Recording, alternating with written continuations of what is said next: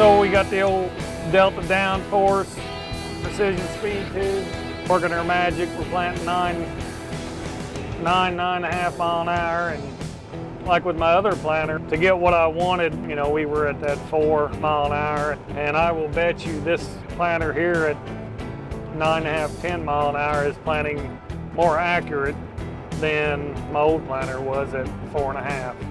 That's saying something.